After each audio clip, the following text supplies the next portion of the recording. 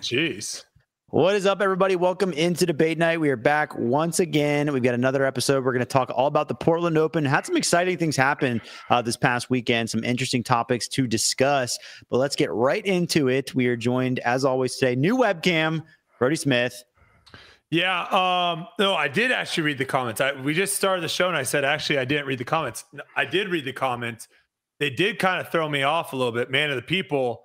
Uh, I guess we we put COVID in the title. So I don't even know if yeah. that video even got mm. monetized uh, because the, yeah, the top comment said, "Thank goodness Google put the COVID disclaimer on this video." Yeah. So I don't know what happened, uh, but there was some people saying that they want the rebuttals. They don't want me interrupting, so I will not be interrupting. But the rebuttals will be coming back if someone says something crazy. Okay. Yeah. It put a, we put like the title was like, did the COVID disc golf bubble burst or something like that? And it, and Google automatically inserts like, the CDC recommends blah blah blah blah blah like above the comments. It was real funny.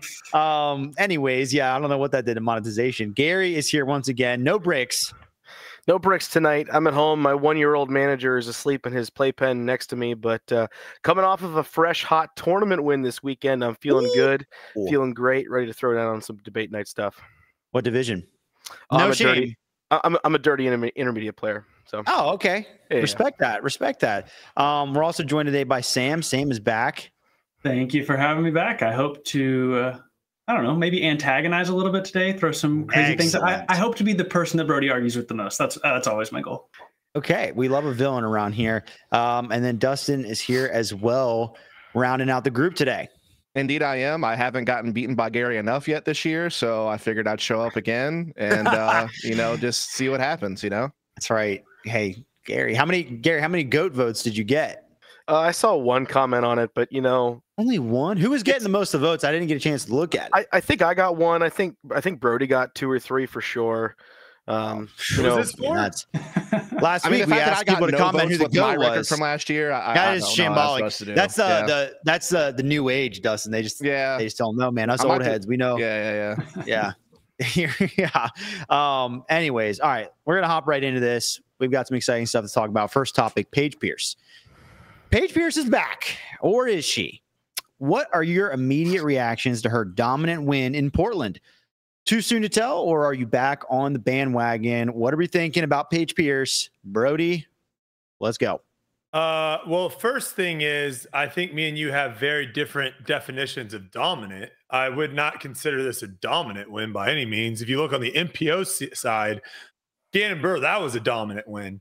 Uh, Paige Pierce wasn't winning, wasn't leading the field until after the third round. So um, she came back. Now, with that being said, this is something that I think is what all of us secretly, if you didn't go out and say, "Hey, I, I want Paige Pierce to to do well," this is what all of us kind of want.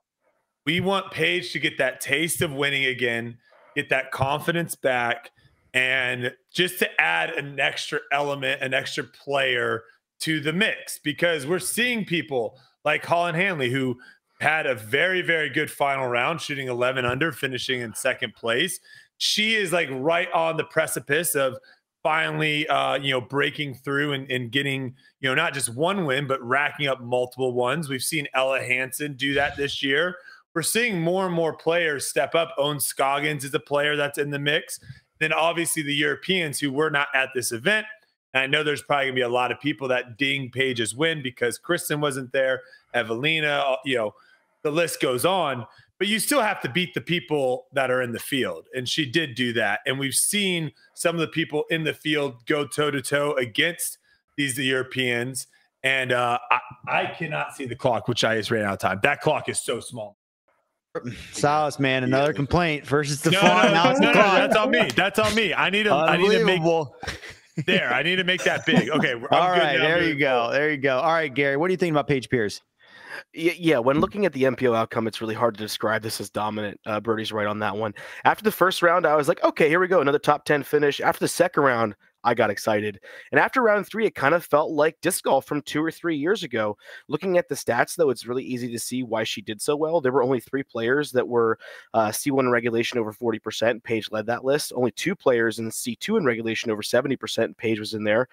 We all know, you know, Glendoveer requires like a, a matchup of distance and accuracy, and and Paige kept putting herself on the dance floor. And with 86% C1X putting, she took advantage of all the opportunities that she gave herself. It's it's a really big win, and we all know, and I think we can all agree, disc golf is better when Paige is competitive. Um, and some people are going to say, like Brodie said, the Europeans weren't there, and I, I don't think you can argue that that she didn't put down four great rounds and she held off an incredibly surging Holyn despite rainy conditions. I think we need to be a little bit careful though because you know everyone's talking about how they cried afterwards, Paige's journey. I keep hearing 326 days since she posted about her leg we need to see more before we just claim definitively that she's back. She's saying she feels better physically, that she has more confidence in her leg and her mechanics. But Paige's mental game has always been a big concern to me. I feel like she only really experiences peaks and valleys in her own mind. And uh, she needs to stop putting like her career on her shoulders and just focus on each event as they happen. And she's going to be crushed under the weight of her own expectations if she's not careful. So I hope this is it. I hope she can run the roost while Kristin's gone. And seeing them come back together for a dynamite battle is going to be amazing if that happens happens. Yeah, certainly, certainly hoping that that's the case um, once Kristin um, is able to recover and get back on the tour. Uh, Sam, what were your thoughts on Paige's performance? Are you saying she's back? Listen, uh, Paige Pierce, in my mind, is undisputedly the greatest female FPO player to ever do it. She she is the goat of that division. Um, but as far as calling it, uh, are we back on the bandwagon? I don't know that we can really have a bandwagon following for somebody who's averaging an 18th place finish for the season. Yeah, yes, she's coming back off of injury. Yes, it's going to be struggle. This she said in an interview. This is the first time she's felt super confident, pushing off with her leg and re- really ripping into the disc. And I, I, love that she's getting that confidence back. I'm not sure yet that we can call it quite a bandwagon following, but I am 100% on Team Paige Pierce you know I've got I've got my passion in one hand and I've got my drive in the other. Um, and I'm I'm ready to see Paige succeed. Uh, she mentioned in an interview I was listening to earlier today that in the past couple of years she's kind of been ashamed of her drive to want to win and has kind of been backtracking on what her personality was in disc golf for a long time and that was that I'm going to go get it it's it's me I'm the person who's going to win this week um, and she's kind of back in that mental state, is what she's saying. And if that's true, I, am afraid for the rest of the field. I, I can't wait to watch her and Kristin battle. Um, I'm still not sure about the bandwagon, but again, I'm 100% Team Kristin.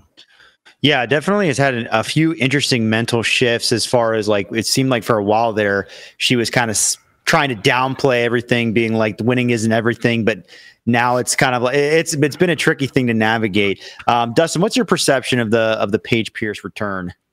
Well, I mean, she's certainly trending in the right direction, right? I mean, she had a top five finish at the OTB Open prior, and then she just won the Portland Open. And yeah, we're talking about how Tattar and Salonen weren't there, but she did beat people who have won on tour this season, like Ohn, like Holyn, like Missy, like Ella Hansen, like Anniken Steen. Like these players were there, and she beat them, and she did so eh, with really good just eye test, in my opinion, is the biggest thing.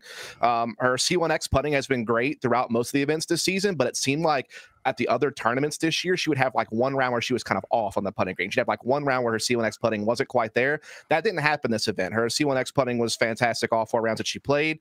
Uh, eye test wise, you can see that she seems to be there physically and mentally. Physically, her backhand power is back. She's throwing the distance that you would expect her to be able to throw from her heyday. Um, so her physical rehab and reps seem to be doing good. I think it's also about the trust. Like being able to trust your plant foot is so huge. And I think that the fact that she has that confidence that she is able to go and throw the way that she wants to throw is huge. And one of her quotes was, is that right now when she steps to the tee pad, she knows where her disc is going to go and she knows that she can deliver the disc the way that she wants to. And I think that that is really the bigger thing than just the win itself is the confidence in the mental game that, hey, I can win. Hey, I am past this injury. I am where I need to be. Um, and so, yeah, I mean, I think it's too soon to call. She's going to be, you know, up there with the greats of FPO this year. But I think she probably will be a consistent top 10 player from here on out. And she's going to have chances to get more wins as the season progresses, especially if you can get her circle two putting back in action. I think that that's really the one thing that she still could work on a bit. Yeah, I, I, think that you know injuries can be super tricky with the um, the whole idea of trust, and, and and I've seen so many disc golfers develop weird hitches in their form due to the lack of trust and injury. Because once you don't trust it and you're still trying to play and practice on it, you're going to hammer in bad habits and things that are, that can be really tough to work out. You start to forget what it was like to play the other way. Um, I, I definitely feel like. Um, it's going to be interesting to, to watch as things go on. You know, is this something that clicked and it's and it just happened to happen for this event and that was that, or is it going to continue? Certainly, would be great for FPO disc golf to have more top competitors. Slight rebuttal, uh, Dustin. You mentioned Holyn Handley. Holyn Handley actually hasn't won for this year and actually has never. She only won throw pink last year. That's on tour that was kind of con- well that was last year you said this year right i'm and sorry that was pretty controversial of a win if you want to oh, go Lord. down that right but um your teammate, bro. this year though i will say that there is no teams in disc golf um the the the thing that i think is really fascinating and something that uh, I'm not actually. We're gonna get into that in a second. Okay. I'll hold on. Okay. Um, I will say though, uh, and you meant I think. Oh, Dustin, maybe I won't get into that. Actually, go That's, on.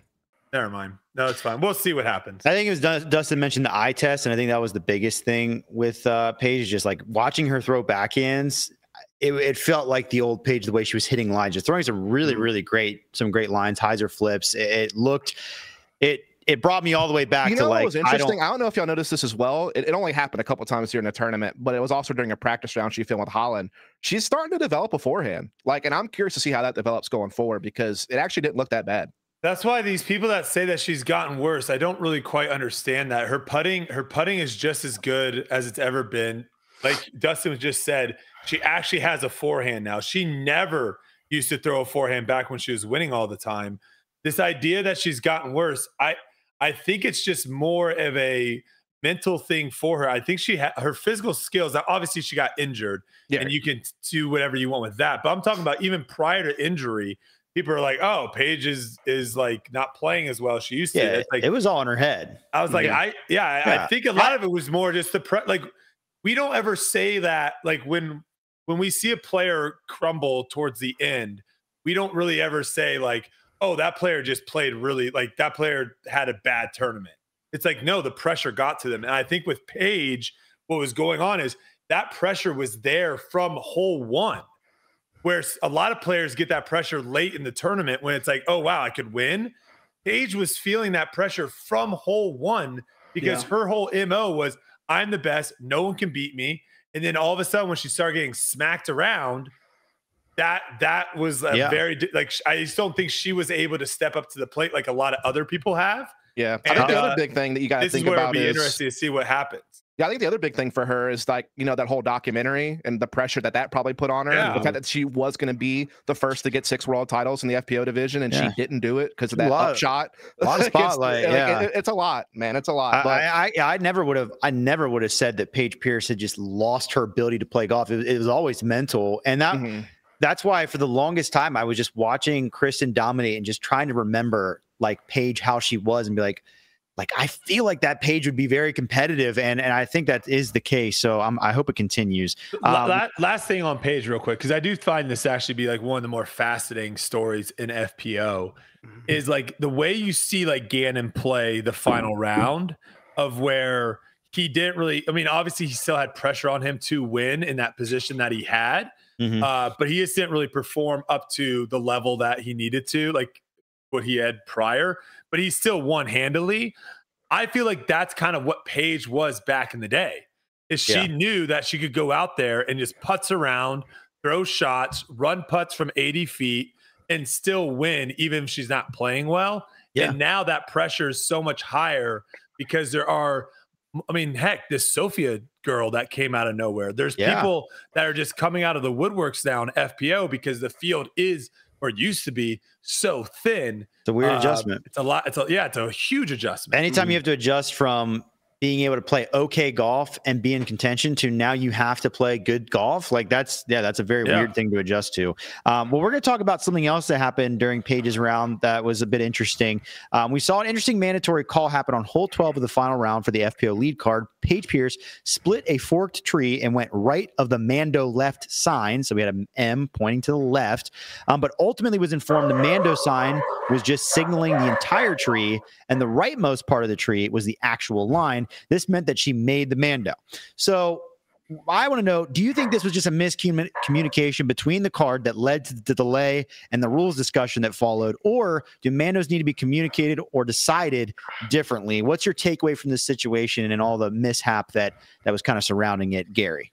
I think there's two really important things to think about here. Number one is the perspective from like the card. It was nice to see all four card members uh, getting involved and discussing this very fairly, and they brought in a marshal like they should have. And Paige very clearly articulated what she thought had happened. And if you timed it, the entire engagement only lasted about two minutes. Um, so Paige made a good call. I think on the provisional to be safe because she didn't want a repeat of the opinions of 2019 Worlds, but she hit the big shot, which made it a three anyways, which is the best possible outcome. But let's talk about the perspective on the event side, which is Ian and Zoe didn't know whether it was made or not. Uh, why doesn't the commentary team have the caddy guide available to them? But even if they would have had the caddy guide, the wording that was used in that caddy guide was kind of more confusing than the PDGA rule itself. Under hole 12, the wording wasn't very, very clear. You know, at my local events, it would have said something like the rightmost part of the tree defines the mandatory line. And they even had a graphic in the players in the player's guide that showed a line connecting to the sign, not the tree. Very confusing. Um, but and also they said the scorekeeper marked it as a miss Mando before they even walked up to the tree. And you can't be doing that stuff. The marshal seemed flustered. He was saying things like up from the bottom of this and the sign's a navigational indicator. Like it just didn't seem like he was most prepared. But they should have placed the sign on the far right of the tree. They should have improved the caddy guide language. I think the only positive thing from this moment that I can talk about, other than how the card itself handled it, is that the DGN did at least build some good tension by cutting over to Holyn, hitting the birdie putt on 13 to show the pressure of the moment. Despite some confusion, I think that only lasted about two minutes. To the average viewer, this wasn't that big of a deal. Okay, yeah, I, I definitely can agree that it seemed like things got moving once um, you know, I feel like Paige handled it well. Um, Sam, what was your takeaway from the Mando um, debacle?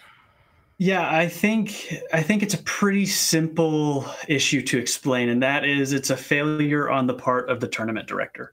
Um, language at a caddy book. I wasn't able to read it for myself. I couldn't find it online. Um, but it, uh, it, evidently wasn't clear. I mean, the caddy book should be clear. The marking on the tree should be clear. It, there really shouldn't be any sort of question in course layout headed into an elite plus tournament. Like that, that is absurd in my mind that a tournament director let, let something, I know it's minor. It, it's a one in a million shot that happened that makes this a question to begin with. But it's still a, a hole in the planning for this tournament and and I think that that's what needs to be addressed at, at the key part of it. Um, the the sign needs to be moved. The caddy book needs to be updated. Other than that, you know, I think the card handled it very well. They had good discussion. Ohn made a great point. It's like, hey, this isn't how we've normally played it. The sign's here. She missed the sign. I get that.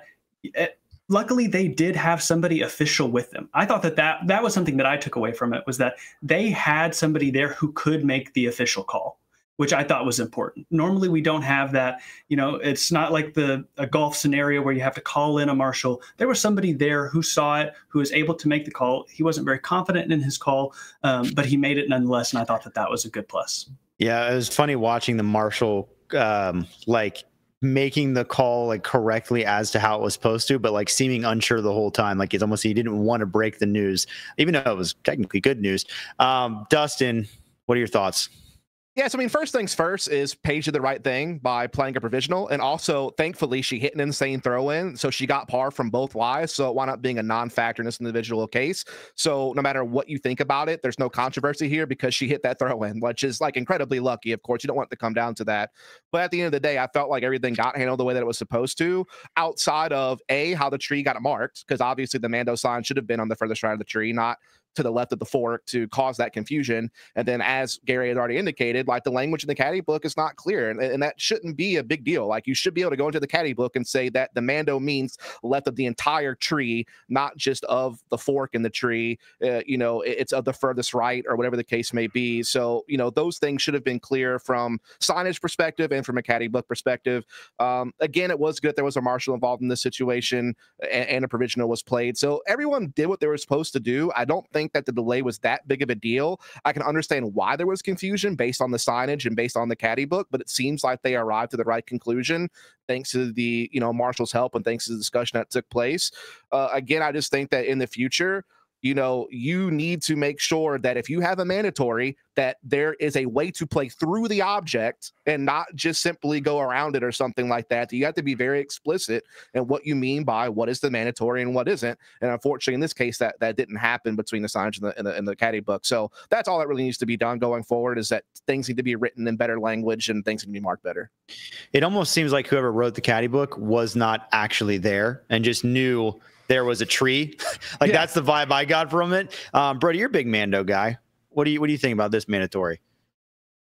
I, I think all three of you guys. I mean, sure, you guys all said cool stuff, but I think you're all missing the big. you're missing the big point here. I don't think it, it matters how they discussed it. I don't think it matters that there's a marshal there. I think the big issue here is the PDGA needs to stop doing crap. Go figure out the rule system that can be across the board. You guys, each one of you said, "Oh, you could just look in the caddy book." You that should not happen on a on a simple thing like this, and on a lot of holes. You shouldn't have to look in the caddy book to say, "How are we playing this hole?" Because one, guess who doesn't have a caddy book? Fans, spectators. So if you're telling me like this hole plays differently than hole seven and then the hole 13 is going to play different, but if you had the caddy book, you would, this whole notion of us having to look to see like, how does this hole play? How does it, that's ridiculous. We need to have a standard thing of this is how rules are set. And every hole is just followed by these rules. And so to me, like the Mando, the fact that it's even on a tree that's got a fork like that, and we're like, there goes the balloons. um, that it's even on the fork like that. And we're trying to figure out like how do we play this? Because I'm the same way with own. Like it went right of where the sign is. That you missed the Mando. Like that's how the rules should be. And the fact that it, it changes and and it can change depending on who's on your card because maybe that person can persuade the other people. I, we just need to have a set rule that makes sense from hole to hole and we don't have to change it. And it's, it's not on the TD, by the way. Whoever said it was on the TD, that's ridiculous. uh, an interesting point there, Brodie, is just a, a, clarification. I'm not saying that players should ever get to the T pad and go, let's look at the caddy guy and see how the hole's played. I think as professionals, you have a burden to understand what the course is playing like and what rules are established on the course. I like the idea that they at least drew a line on the ground to create that like designated space, and they should have understood that before the event. But in moments where you have to have a like a, a, a, rule clarification you have to be able to go to something concrete that's written that establishes this is how the rule is going to be played for everybody. So i think you have to have a caddy guide that makes sense for moments where things that happen that may but be see, unclear for different but see groups. you're you're saying the wrong thing. You're saying caddy guide. By saying caddy guide you're saying that that's force dependent. What i'm saying is you need to have a rule book and the rule book should never have a caddy guide? rule, correct why, why do you need to have a caddy guide? You do you do you need to have a different rule book every time you play Monopoly, Dustin, or do you just need yeah, one but, rule book? But Monopoly board like, stays the same every time you the play same. It. Yeah, it's, exactly. it's a disc golf, disc golf should. That's the whole point. Disc golf should be the same. We should be going to course and course and saying, well, this course we're going to play with by these rules. This course we're mm-hmm. going to these rules. It's not that about the no rule. Sense. It's about how something was marked physically. It's not about yeah. the rule itself in this situation. Yeah, the they rule- all should be marked the same. Dustin is what I'm saying. Oh, true. it should have the same. So who's responsible have, for putting the sign should, on the tree? Dustin, then we should have some courses where there's a white stake for the OB and a painted line in front for OB and a painted line behind. The rule yeah. book should be standard. That's what I'm saying. There should be a yeah. standard. We, we should we, all know if you we, go left of a Mando sign, if a Mando sign's pointing this way and you miss it Yes. You missed the sign. Yes. You missed the Mando. There is no question. Who's responsible of, for placing that sign on the tree? It's the tournament director, which not the PDGA. Which was my whole, which was my argument, Brodie, and I don't understand what you mean by how is that not the tournament director's fault? He's he is the reason for the miscommunication. Yet, yes, the rule the rule should be standardized. I would 100 percent agree. With you. Yeah, we all agree on with you but, on that but one. Mm-hmm. that's not that's not the question. Because so even if the rule was standardized in this case, if the sign is placed the, incorrectly, the sign was put on the, the wrong. Right. You're saying the sign was put on the wrong side of the tree. Correct. Correct. Yeah. Okay. Now here's my thing. Here's my thing. Again, standardized rules. Standardized rules. It should go off of what you're playing. If I'm imagine imagine this. Imagine this. Imagine throwing a shot and getting up there, and someone misplaced where the OB was supposed to be, and in the caddy book, it's not there and I go, oh, look at, I mean, I think this was MVP with Paul McBeth back at uh, hole eight or whatever this kind of happened, of where the caddy book said, let's say the caddy book said it wasn't OB, but on the actual you know course it was OB. I think again this should be something that should be standardized rule that you play based off of what is in front of you, Yeah, not we- what's in a caddy book. If we you agree with that. We agree with that. okay, and so she should But miss at the end of the day, Mando. the TD has to execute that But properly. I'm saying she should miss the Mandos. What I'm trying to say, if you if we're playing by the rule that if you go, if you if you miss the sign, you have to play by the sign, not by what the the even if the sign was placed in properly. But it, That's is the sign is that said. even you have to go you have to go off of what the people are saying Uh, what, what well, is- that's that's the question though. The sign was saying one thing, and everybody else was saying something else. So what So- do you go with in that instance? and so what i'm saying is if there is an ob let's say there's an ob uh, roped sand trap and in the caddy book that sand trap is not ob but someone by accident or whatever let's just put ob there you have to say that that's ob now we can't go off of you can't go off of what the cat and that's what i'm saying there's a standardized rule that basically what the course is playing Yeah, but you can't assume everyone's going to play it the same way I could People go out at night. standardized people are gonna rule. have to- to- okay. I could go out at hmm. night and I could remark lines, and now you have to say they're OB because I remarked the lines. I'm If saying ca- you have what, what I'm saying is you have to go one way or the other. You can't have people say, I'm going to go off of what is playing on the field and I'm going to go off the caddy book. That's all I'm trying to Yeah, say. they should Standardize match. it across. Ideally, it should match, but if Yeah. it doesn't match, there should be a standard rule for what you go off of. Is what I'm Uh, trying to say. Agreed, but the, at the end of the day, the tournament director's job is to make sure that they keep up with the standardized rule created by the PDGA. If we're going to do it that way, if they don't, the c- the question's not like what should the rule be. The question is what, why was there a confusion? The confusion was because it was communicated poorly. If you actually look at the caddy guide for the event, they do a big write up on what how mandatories are determined, and it doesn't even like match what the PDGA says. It's so confusing what they wrote in there for Yeah, we're agreeing, Gary. We're Yeah. agreeing. Yeah. The- the- are very we should a very have a tricky caddy. issue We should like have a caddy book. the like as far as standardized rules, like you mentioned OB, and that's a that's a perfect example of what should be just like we mark water with this stakes. We use the same we, we use the same thing to mark OB. Like Yep. that makes it. Mandos are a weird one because like the essence of a mando is we're gonna throw a, like in, in my to my knowledge what it means is we're gonna throw a mandatory sign on a bigger object that already exists on the course typically. Usually they're not man-made. And we're going to then that sign basically assumes the object. But like they're never perfect because if you have even if you have a tree with a mando left sign and you throw it up above that tree it's Yeah. really hard to tell. So that, that mandos are just you a know how tricky to, one. you know how to you know how to standardize that rule. All triple mandos No, well, you, you can literally just you can literally just standardize the rule by literally saying if it if you miss the sign, the sign the sign is what's making a vertical line. yeah If but you a sign go- is really Yeah, hard to if, tell What if, yeah, what if you're on a branch that sticks out like this and the sign's halfway up and then you go? But we are, but again, we're, we're- we're saying all these things. These are already existing in disc golf. It's really hard to tell whether we crossed in bounds or we didn't. So in Players, your- are, gonna, players are going to have to make that call. true Trevor, you know what's also really hard to tell is when you have a mando that's a tree. Like you, you literally just were saying the same exact thing that goes up into leaves. It's really hard to tell whether or not that Yeah. crossed or not. triple So mandos what- only it's, baby It's gonna be really hard to tell no matter what.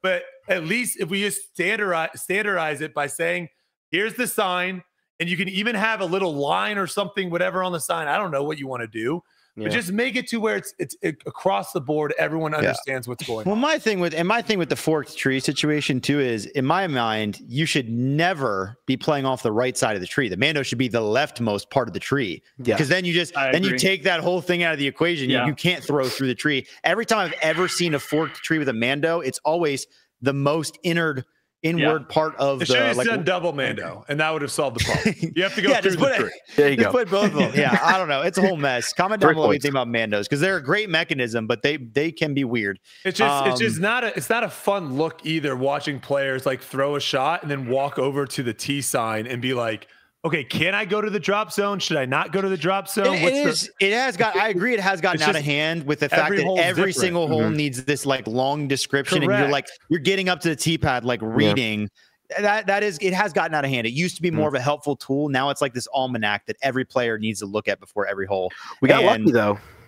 We got lucky because it created a really, really interesting Hey, uh, yeah, throw in. night though. and- Come on, and man. It, it Bring created and it also created a drama when, when Holyn hit that putt. So it's like it created drama. So for the average fan, they, they don't care. But It's for fun us, to look at. It was funny. I think Paige handled it well, and it was very funny to watch her be like paranoid because she knew about the last Mando scandal. She was not having Oh, another yeah. one. That's I respect that. Respect that 100 percent because I would have That's been there. That's happened twice again too, because there was another time where Holyn literally was like, "No, I didn't cross this year." I don't know which Yeah. that was, but she It was only like happens very once, ad- man. She was very adamant of like, "Oh, it was an OTB on the whole ten. She was like, "Yeah, I didn't cross."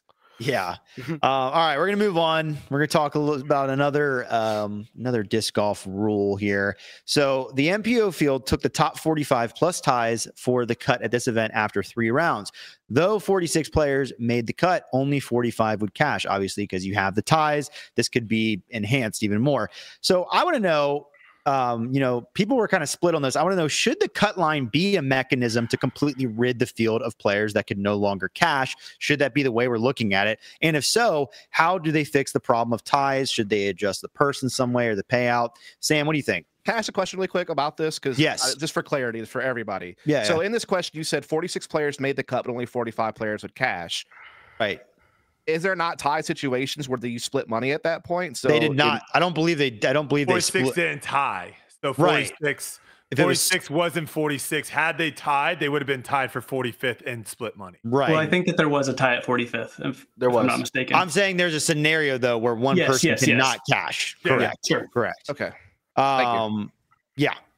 Uh, all right, Sam, go for it. I am all for the cash line and the cut line being two separate things. Um, and, and that might be a little bit of an unpopular opinion, and I'm sure it's going to be an unpopular opinion with a lot of pros who it affects. But I think for disc golf as a as a live sport, I think it increases watchability and adds more storylines. We talk all the time about how disc golf needs more storylines. It needs more things for the commentators to be talking about rather than just saying, "Oh, that was a good shot. Oh, that was a good putt." You know, they need they need stories to be telling throughout the coverage. And and a cash line and a cut line have have two different definitions, you know. A cut line is there so that the field is reduced, speed of play can be increased, and, and more resources can go to the players who are playing the best that weekend, right? That is the goal of a cut. And and those players don't necessarily deserve cash, but typically that is what happens. That's what happens on the PGA Tour. But I think disc golf can be different in this way. I think it. I think it'd be such an interesting storyline to not only just have you know a tie for 45th and then have three players potentially missing cash if they play bad on Sunday, but think about having having 50% of the field make a cut going into Sunday, and then only 40% are going to cash. And there's a three stroke difference between last cash and the cut line. And then you have players who are battling lights out just to try to make 150 bucks for the weekend. I think that that'd be super exciting golf to watch. Okay, yeah, I mean that's that's definitely a, a one way to look at it is creating a another narrative there on the final day. Um, Dustin, what do you think about the cash and cut line? So for me, I'll actually take a little bit of an opposite approach here. I think that the cash line and the cut line should be the exact same thing. So if you made the cut, you have secured last cash. And I think this is the cleanest way to do it because it's based on the percentage of the field and not some set number, which may not work depending on the field size. Now, so in this case, you had 112 players there in the field, and they cut it to the top 45. You could cut it to the top 45 plus ties, aka those are the people who are going to cash because the cash line was 45 after the three rounds. So at that point, the final round is now about taking the players who are out of the cash out of the equation to help with pace of play, to you know not have less people on the you know course, all that good, all that jazz, and then have the people who are actually competing for higher money still be able to compete to see who can get the most cash, basically, or, or propel themselves up the cash line, so to speak, that's what you want to call it. Uh, I don't see that big of a concern with ties. We have rules in place for how cash is split for tie situations. They work fine. So I think, you know, that shouldn't be too big of a deal. And I just don't see a problem using the cash line plus ties as the cut line. It seems to be the most uniform way to do it. The only other way that you could do it if you didn't do the cash line is by doing let's say a, a harsher cut like you're doing the top 30% or top 25% of the field um, or you're doing a bigger cut where you're letting half the field play or something like that and then the cash line is still the 40% or whatever but i just think that that creates some inconsistency so i think just for percentage of players that you have i think that's the way to go about it just cash line cut line same thing Okay, sticking sticking with the usual. Um, Brodie, what are your thoughts on this? What do you think they should do with the cut line and cash? I'm actually going to agree with Sam here. Oh. Um, yeah, but That's I'm going to push it a little bit further, Sam. You, ta- you you're talking about storylines, right? You're saying we need storylines. We need to talk about the guys that are in 46, 47th place on Sunday. That's really interesting. I'm going to take it one step further. Let's make a cut after every hole, Sam. How exciting would that be? You play a hole, boom, one person's gone. You play the next hole, boom, one person's gone. Every hole. Let's not wait for one cut. Let's not wait for two cuts like you're saying, Sam. You know, cut after two rounds, cut after the final round as well with the cash line. Let's make a cut after every hole. That's what will get the people excited and watching. That'd be Every fun. hole, baby, more cuts. But no, I mean that's the whole thing. Is when you start stretching this out, it goes back to the kind of whole argument of like, oh, why don't we just have one hole be the entire course instead of 18 holes? Let's just play one long hole and make that the entire course. Th- There's a reason why there's just one cut. It's just clean and nice and easy. You go two cuts, why not go three? You go three cuts, why not go four? Let's just have it one cut. You make the cut, you make money. Simple as that. Easy peasy moving forward. No one's really going to care about who's cashing or not at the very end of the event, anyways. They're going to be caring about who's winning. The cut line adds for a lot of information or a lot of drama when people aren't looking at who's going to win the event. Okay. Okay. That was a roller coaster. My goodness. Um, Gary, round it out for us. What do you think they should do? You know, personally, I feel a bit disconnected to this because I don't really think about the cat cush, the the cash cut line very much. Uh, I only look at it when it comes to like streaks ending or if I've got like a PA local playing in the event. Um, I'd love to know how many viewers care about it. Get in the comments, let us know if you care about the the cash the cut line. But you know, maybe the DGN could take an extra minute or two to talk about it on coverage on Saturday, like you know, notable players that are going to miss the cut or players in the bubble today. Um, I think that keeping the cut and cash line together makes a lot of sense. And I'm sorry to once again reference golf, but the PGA does the same thing at 65 players. Um, so, and what they do for ties, um, they actually handle it by throwing out money to someone who finishes below, like above the cut line, but finishes outside 65th. They they throw money to that. I'm not saying the tour has money to do that kind of stuff. And how often does it actually even happen? Like, are you know, are we talking about legitimate money in any way, shape, or form? Anyhow, because the last cash at Portland was only four hundred and forty-four dollars before the tie when it got split. Um, would it have been a big deal to kick four hundred dollars to Ren and Lotta? Probably not. Um, it, if if he were to finish below, but um, I think the rules are fine the way they are now. If you're a player and you have a problem getting two hundred and twenty-two dollars as opposed to four hundred forty-four, just play better, and don't be putting yourself in that position. Um, this only really feels like an issue because Portland is is a super tight course. You know, aside from Gannon, and the event probably has a history of being the tightest event probably on tour with two previous events decided by a stroke and two events decided by a playoff. I say you keep the rules. Let's focus on stuff that matters a whole lot more. There's other things to focus on right now. So Gary this cannot is, be uh, bothered.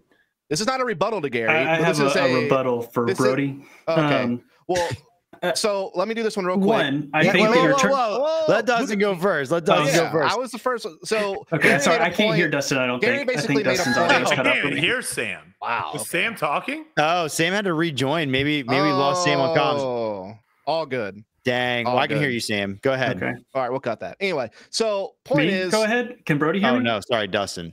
Okay. Sorry, I'm juggling. I'm juggling. Dustin, I'm go sorry, it's ahead. okay. It's okay. It's okay. So Gary made a point that like not really caring about the cash line or cut line, and I think the reason for that is because it doesn't happen enough. Like it's not a a uh, it's not more of a you know spot in our sport as it should be. And if it was, then I think people would start caring about it a lot more. Um, so that that's not really a rebuttal. That's just like kind of like a I think that can make the game better. You know, if it was a more regular thing that people had to worry about, it would be more of a storyline. It would be more interesting. or or even like I said, like a one or two minute spot of like, hey, here are the players on the bubble. You know, one of my favorite things to do after a tournament, and this is just I guess the masochist in me is I like to go look and see what notable players didn't like just tanked it that week. I find it I find it interesting and seeing players finish outside the cut line, especially we got a local here who finished in 65th place and beat a lot of notable pros. It's kind of fun. It's fun to look at, but during the actual event, Yep. I don't tend to pay attention to it very much. I definitely do as well. Um, Brodie.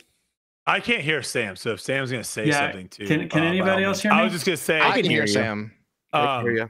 okay, I guess someone needs Dang. to relay if he starts talking to me. We'll translate I- for you, Sam. I We'll translate. Yeah. Um, t- the couple things that I was going to say is I agree Dust, with Dustin. I think if we do three three round events, there needs to be a cut after the second round. Four round events, there needs to be a cut around after the second round as well for a four round event. I think that makes it a lot more uh, like you were saying, um, Gary, to get you more involved instead of you paying attention to that after the event. You would be paying too much attention to who's not going to be playing this weekend? Holy cow! Like Paul McBeth on the cut line, is he going to be playing this weekend? That's exciting. The Quick question: that, Do you do two cuts on four rounds, like one cut after second round, no, one no, cut after third, no, or just one cut after second? One after one. second. Okay, gotcha. And then, um, and then the other thing that the PJ needs to do for the respect of the players, uh, if you miss the cut, just put MC. Like we don't need to be going. like I don't want to go on here and see that someone shot 27 over par just put MC after everyone's name that missed the cut. Um, just to show do, respect. Be a, be a little respectful for the players that uh, didn't make the cut. All right, Sam, what did you have, Dad? Yeah, I'll keep it short because I know Brodie can't hear me. Um, but one, I think his tournament idea, where there's a cut after every hole, would be electric, and I think that a lot of people would tune in for that. Survivor um, golf. And two, what was my second point going to be? Uh, quick um, translation for Brodie. I, he thought that your meme would actually. I don't know. I still idea. think that. Yeah, I'm sure he did. That's why I said it. Okay. just just your translating. I, I just think it's going to be. I, th- I yeah, think him that, and like the other twelve people can go watch that golf. Uh, count me one of the twelve. Yeah, I, I I guarantee that thousands of people tuned in for that. That would be I, I sure electric. Would. I think people who don't watch the Pro Tour on a weekly basis that, would tune in for that for Hashtag sure. Also Are you out of your mind, Brodie? If the pros actually showed up for that, we would probably, watch. Are you kidding me? That's Not probably on a consistent basis, but that's what I'm saying. That's a, you would, you'd watch an entire Pro Tour like that? No, where no, AB and. Gannon, well, AB and Gannon all of a sudden just get eliminated after three holes. Who's gonna win, man? Brandon Lotta. yeah, yeah.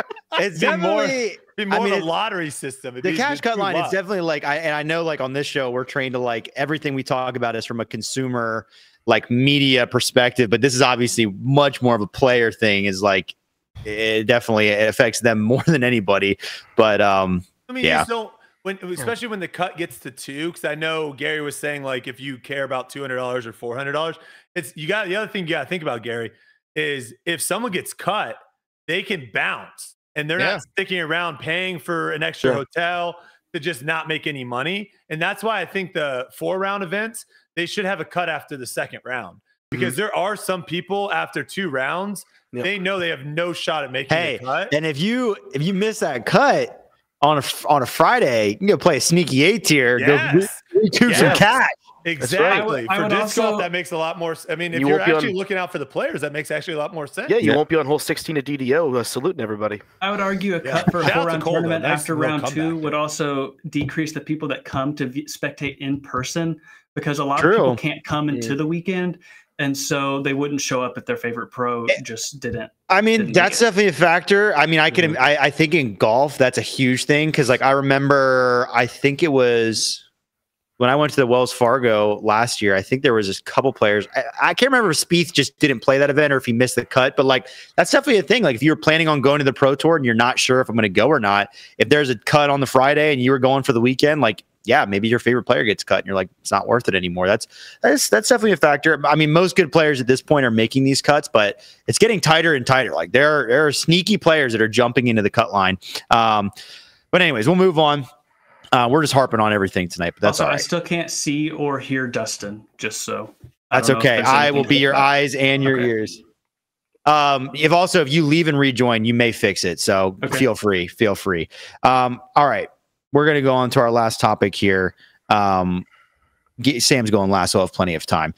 Gannon Buhr turning one. Am I, am I allowed to say dominant for Gannon Buhr's performance? By the way, guys. Yes, that was a dominant performance. He had a ten-stroke lead after. Why round did you three, say yes. dominant for Paige? What was that? because it, yes, the victory was only what two or three on paper, two. but she had the hot round in rounds two and three, and was in cruise control in round four. She played three really good rounds, but she didn't play the good first round. So I don't. I wouldn't say dominant. Oh man, seventy-five percent of the tournament, she was she controlled it. I mean, come on, yeah, it was controlled. That's a, that would have been a great it word. It was borderline if dominant. you would have borderline. changed dominant with control, give me borderline dominant. I would've, I it only wasn't dominant because of it's what because Gannon of Gannon. It's because it's Gannon just fault. changed the word to controlled though, and that's a perfect word to describe if you, how controlling and tournament. dominating are the same thing, man. It's the same thing. Gannon Buhr turning one of the most dominant performances in recent time en route to his eight shot victory in Portland. This is yet another wrench into the ongoing player of the year argument as we venture further into the season. Is he now your front runner? And how much do you weigh wins versus average finish and podiums? How is that all being done as you start to calculate this as we, I think we're past halfway in the season now? Uh, Dustin, what do you think? Well, I mean, obviously, UA wins the most, UA podiums the next, then average finish, I think, is a, a, nice added factor if things are close to kind of use as a differentiating factor if you need to for like a tiebreaker in your mind or something like that. Um, for me, Buhr is my front runner at the moment, but I think that AB is very close. Uh, I think we can all agree that there's three MPO players in running right now for player of the year. That's going to be AB, Gannon Buhr, and Calvin Heimburg. I think we're all probably in agreement of that. If you have someone else you want to add, go for it.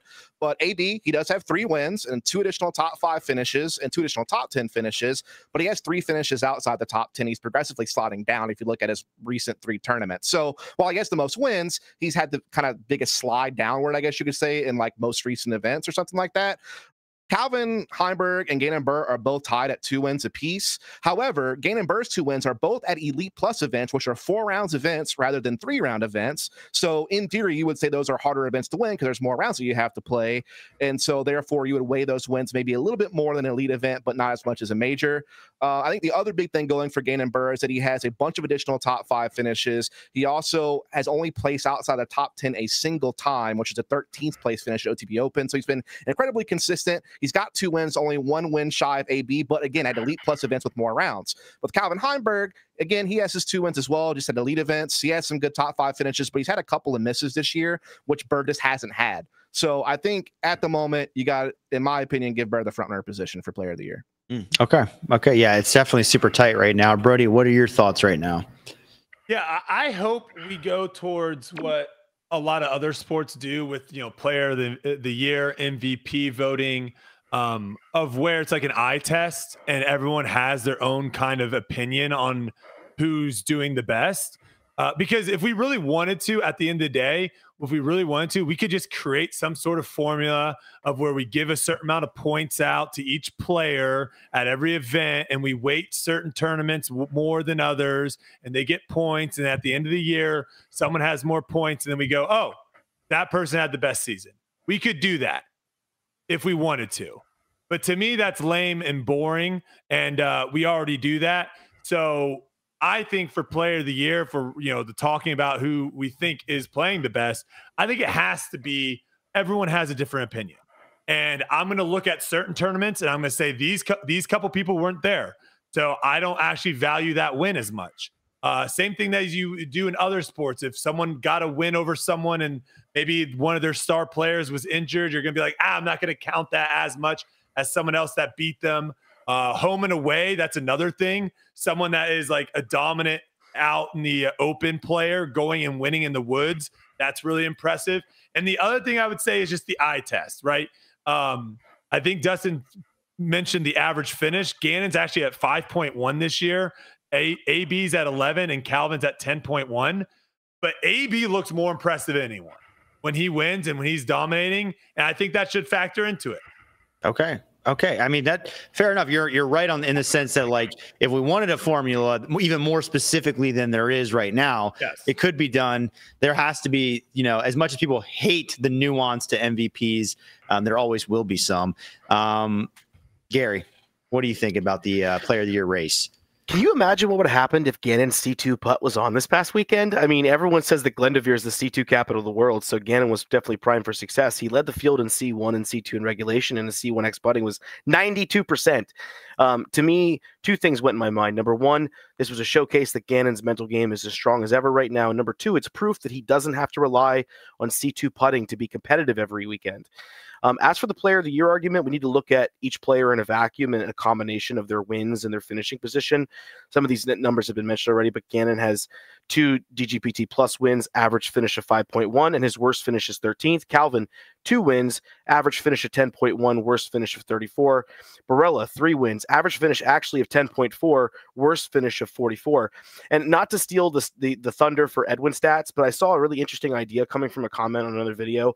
Said to look at the aggregate for strokes lost to event leaders. And uh, Barela has lost 81 strokes to event leaders this year, averaging 8.1 per event. Calvin's lost 68 strokes, 7.6 per event.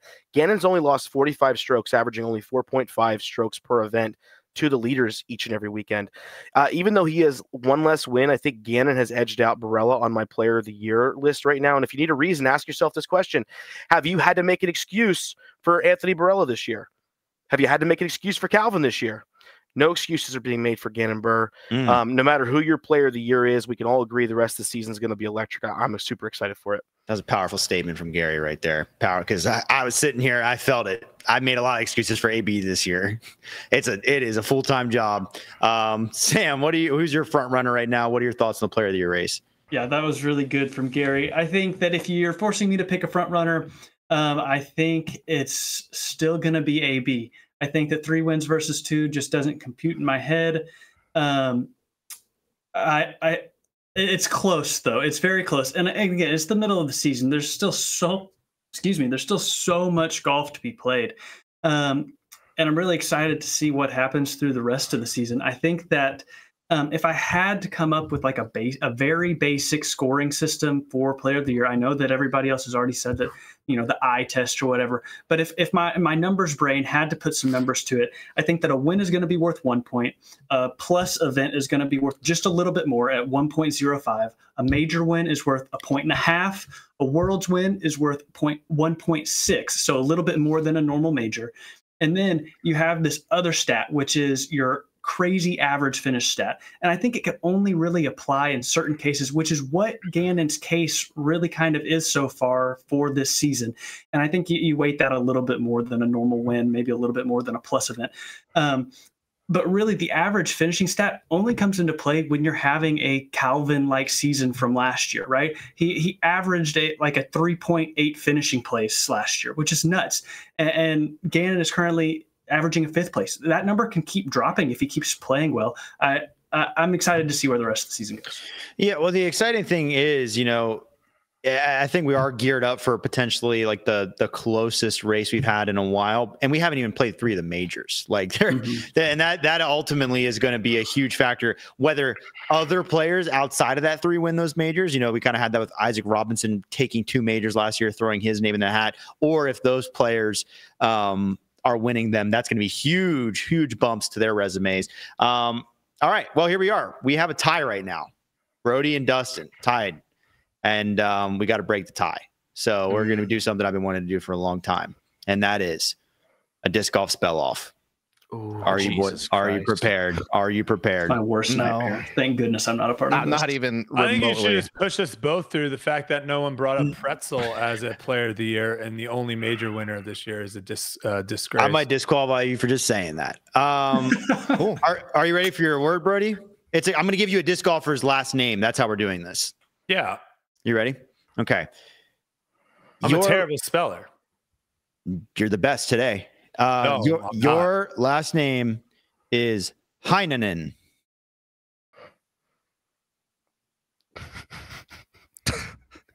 Let's hear your best There's attempt. a, there's a bunch of E's and I's. You can do this. There's no Uh, shame. This is a tough last name. this is this is a tough one. Yeah. Mm, You got to do like the right out on your hand thing. I don't think there's any A's in it. Meanwhile, Dustin's reviewing every European. yeah, I can see. Dustin taking that. I think Dustin's cheating over there. That's fine. I'm not surprised. I'm gonna Uh, gi- I'm gonna gi- H. Okay. Nailed it. This is H- electric. Is it like H I E N E E N E? No. Eh. I, I will. I mean, you had a, some trains of thoughts that Is were there a G there. in there? Is No, there no. a All G? right, There's stop not while you're at. Stop There's while you're at. The correct spelling of Heinonen is H E I N. So you just had those mixed up, and then A N E N. Oh, there is an A in there. Yeah, it's spelled somewhat. It kind of makes sense. All right. Well, let's. Uh, you get like uh, maybe one and a half points for that. Dustin, your last name. Let me let me make sure. Show I my like- hands that I'm not like googling or or Oh, doing. I mean, you already have You already, already have has the it pulled entire. up. Yeah, I just- somewhere already Japanese. pulled up. because I can know what name he's gonna randomly say. Hundred percent. You got Hit it. him with a Japanese player, Trevor. your last name is. mm, I, I'm, Hit him I'm- with an I'm- FPO player. There's no chance that he threw Oh, an FPO. good point. Good There's point. no chance he threw an FPO players up there. He's got all the MPO, no You want me to like close all my tabs? Like, what do you want me to do? I I mean, mean, you're- I, they were saying stuff. I was trying. Oh, think here we go. Here we go. I got a good oh. one. Leah Tsinajinnie. yeah. so talking about Leah Tissanageni? I mean, her last- Definitely her not la- how Her last say name is Tsinajinnie, I'm pretty sure. Yeah. Yeah, it's Tissanageni. like T S I H J A N N E or something like that. I mean, a a good start. Just finished rough down the end there. It Yeah. was, it's T S I All right, N A. What's this, what's this tiebreaker going to be? Because we're never going to get this. No, I, I'm going to give it to Dustin because at least he started his word correctly. Oh, oh. and he also So didn't have it's a poopy attitude so about it's spelling a right wrong. It's not a right or wrong situation. It's just you get to decide. I think it was. I think it was Oh, more that's side. No, the, the comments will love that. The comments will love that. we do a spelling test and both people get it wrong, but They you can't. just decide who gets to go. They through. can't That's, hurt no, it me, makes man. sense. We should let can't me. Sam give them a It's like question the to fight Mando. about. It's like the to Mando. I did have You get to 13 points and then a point randomly you missed the disappeared. Or So not. that happened too. I don't know. It's not, you know, it's not, Ah, it's not it's like you can miss technical. Mando and you can Glitch. miss Technical glitch, Mando. okay. Does it really matter which one of them makes the finals? Oh! Oh, From left Guys. field, You Gary. people can't Brodie, hurt can me, we man. team You up can- against him together? Like, can we You can ally comment. him? You Like, have- risk? You, you Honestly, get it's one a minute. risk game. I would almost rather watch Which- Brodie and Dustin try to collaborate on a point, and then like like Dustin says the first half, and Brody has to like agree and move on with Is No, this that. question it's, about- it's, it's 30, 30, 30, 30. I It's was a gonna say, pick up is where this the other one question about off. ultimate frisbee too? No, It it's kinda about is. FPO Kinda. athletes. Dustin, I'll, I'll give you the option. Do you want Brodie on your team? No, just go ahead. I don't know how that would work. So Go Okay, ahead. fine, just- fair enough. ahead. All right, Dustin beat Gary. God dang What? it. Whatever, whatever. Um, we'll do this. We're doing this spelling bee again.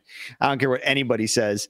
Uh, That was right, electric. final Oh. topic. I've been wait. I've been thinking about dropping that on for so long. Is that long. why you dropped me to 12 points from 13? Don't no, lie. I, I just that was latency. I just I was gonna Oh, give him okay, twelve. Yeah, okay. Or I was All gonna right. yeah, yeah, yeah. That was All just right. latency. That's okay. Technical glitch. Technical glitch. Um, all right, final topic. Uh, we saw yet another promising player arrive at the highest level of our sport with relatively little experience. Sofia Donnecke was the highest PDGA number to ever make an Elite Series lead card. She came from Ultimate and just ever over three after over three years of playing, shot a course record at a Pro Tour event. This isn't the first time we've seen a similar story, especially in the less populated FPO division. Will stories like this happen indefinitely in disc golf because of ultimate frisbee athletes and the somewhat shallow learning curve of disc golf compared to other sports? Or eventually, will this quick journey to the top be impossible? What are we thinking? Gary, do you want to go first or second? Uh, Dustin is the pinnacle of preparedness, so I will definitely let him go first. Okay. Dustin, fire away. All right. So with the, the Sophia thing, I will say at least she showed some hints earlier this year, you know, doing well at LVC against Luque and, and Catrina Allen and Maria Oliva and some other top players. So at least she had like some festering, but you still couldn't expect what she did at the Portland Open, which was fantastic. Um, I do think stories like this can happen for now as more women with big athletic backgrounds enter the sport. And what I mean by that is, is whether this be an alternate background, whether it be softball, whether it be volleyball, you name it. Once you get to a high, either high school level or collegiate level, and you have no further that you can go, either because you don't have a professional sport for your sport, like what happens for some collegiate athletes, or you just quite weren't quite good enough to be a collegiate athlete, but you're still a very high end high school athlete, you're going to turn to something else if you still have that competitive itch. And this is what is happening a lot of time in the FPO field. You saw this with Holyn Handley and Ella Hansen. I think for Holyn Handley, she was a volleyball player. Ella Hansen obviously had the ultimate background. You're seeing it right now as Eliezer Middling, excuse me. We also saw Anniken Steen. I think Brody did an interview with her. She was kind of into some other stuff, but not really disc sports or throwing sports. Uh, Stacey Ronsley, to a smaller degree, is another player who had this exact same thing happen, where I think she had some backgrounds in other athletics as well. And you're starting to see this happen more and more. Uh, the example I have is Taylor Chochik, who's a heptathlete from Oregon. She goes by Diste on YouTube. Uh, she is a top athlete. Uh, she had a recent video with Nathan Sexton where she was throwing like 70 miles per hour and like able to hit like pretty high distances. So when people like this continue to stream into the FPO division, you just wait. Like we're going to get more and more collegiate level athletes or better who are looking for that competitive itch in a different direction because their collegiate careers have come to a close and disc golf becomes their option because they're already interested in it. Now, I do think that at some point in time, though I don't know when that'll be, that yes, the, the, the FPO field will eventually flow with enough athletes to where it will eventually become like a disc golf specialty type of sport. But right now, we're not there yet. And the evidence is in how every season so far, the last three years, a new name or, or multiple names have popped up with athletic backgrounds that do well. Yeah, certainly, certainly has been a huge narrative for that division every single year. I totally agree with that. Um, Gary, what are your thoughts on on this kind of effect in the FPO division, especially? Uh, first of all, congrats to Dr. Sophia because she does have her PhD in chemistry. I don't know if anyone knows that, but Oh, um, this is this is only her second Elite Series event ever. Uh, The Mhm. first was OTB, where she took 14th, and she got to play with Paige at both events. Um, when being interviewed about it, Paige described her as being powerful, poised, and reminds her a lot of a young Valerie Jenkins, which is a huge compliment. Um, but the power is not surprising because she actually has a background in rowing as well. And when she was talking about the rowing, she said uh, it was an experience where she learned how to do a singular motion to perfection. Um, so you combine that with like the stress of, of, of the sport, the, the body strength, and her ultimate experience, you know, her natural talent in disc golf makes a lot of sense. And we've talked about this on debate night before. Natural athletes from different backgrounds are going to have a leg up in the transition to disc golf um, because there's a lot of athletic motions that translate really well to disc golf. And um, the mindset of determination and grind translates really well uh, at the same time. And ultimate is a great example. I was talking to my friend Oren this weekend, who comes from an ultimate background, and he reminded me that you know he had a much easier time getting used to the mid range and, and and putter power shots than most people because of of that. He also um, talked about how he had a much better time generating power from tough body positions, which can be proven if you look at Sofia because she led the field in scramble rate this weekend. Um, so using that power in, in different kind of body positions. But long term, I think that we're going to see more people come into the sport and have success in this same way uh, for singular events or stretches. But for longer careers, I don't think we can be sure of that yet because something that separates a lot of athletes from established pros is touch and experience. You know, disc golf is very mentally taxing, but it's much slower than other sports because you aren't dealing with quick, fast paced decisions that have to be made. You have long, drawn out decisions that can be mentally crippling as you walk from the tee pad to your lie. You know, so essentially what I'm saying is, I, I think that being an athlete breaks you into the sport, but I think being an adapter is what keeps you in the sport longer. And as the sport changes, maybe this happens less, but it's going to keep happening for now. That's a good point because you know we have seen certain athletes getting into the game and then burning out a little bit quicker. I think that the interesting thing with FPO, like MPO right now, you feel like every next up player at this point is probably going to be somebody who has been playing the sport since they were 12, 13, 14 years old and gotten really good. Uh, uh, Gannon Buhr is like, you know, the prodigy type model of this player. Whereas in FPO, I feel like there's a, still a chance now and for the next few years that the best player we see could be somebody that started the sport very recently and just has that athletic ba- background. It'll be very interested to see if and when that effect slowly phases itself out as that division gets more saturated. Because right now, and and Dustin, you made a really good point. You know, there's a lot of collegiate women's athletes who their careers draw to a close. They still have that competitive drive, and there's not a ton of options for them professionally in their sport. Talk about a softball player. You know, you got to really look for something like that. Um, and you know, unless you're playing at in an international level, and disc golf's a great landing spot. You can make a pretty good living if you're at the top of the FPO division. It's going to be it'll be interesting to see if the FPO division actually ends up attracting more high quality elite level athletes than MPO in in the short term, just because of that idea um, that there is money to be gotten at the top. The purses are increasing. You know, tour championship, you're gonna make the same as the men. So like that that is definitely an effect um, to to be looking at. But um, Gary, you did it. I, I I sense that somebody has awoken in your in your room. Yes. This is my this is my little man. Oh, look at that. The Yep. matching blue eyes. Holy I cow. know. I'm man, double double blue eyes. How about Double blue that? Oh, eyes. no. And the thing is, you could have pulled that out anytime, and I probably would have given you even more bonus points. And, and you waited till you Yep. had won. So But yeah, I, I want to thank my manager. Uh, he's my one year old. Uh, every week he listens to all of my arguments, and some days he gives me a da da da da. Other days I get a ha, da, ba, da, ba, ba, da. But he's a really harsh critic, and he keeps me on my toes when it comes to this stuff. Wow, that you got to be somebody that somebody's got to be motivating Gary over there to get all these dubs. Um, there you have it. There's another episode of Debate Night. Um, no fan driven topics tonight because didn't have a ton of submissions. So scan that QR code. It's going to pop up on the screen. Uh, click that link in the description. I want topics, people. I want to hear what you have to say, what you want us to talk about. Um, submit topics that are going to get Brodie tilted and they're directed straight at him. I, those are my favorite ones.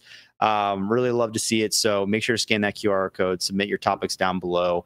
Other than that, I won't be back next week. I'm going to be on vacation. Guess who you're going to see in the host spot? Big Hunt. Silas. Oh. Or should we let Brodie host one episode? Ooh, that'd be good.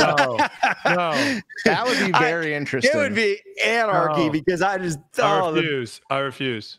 Are you scared? No, I just don't want to do it. Oh, okay. Mm. All right. Okay, it'll be Hunter then. Go Hunt.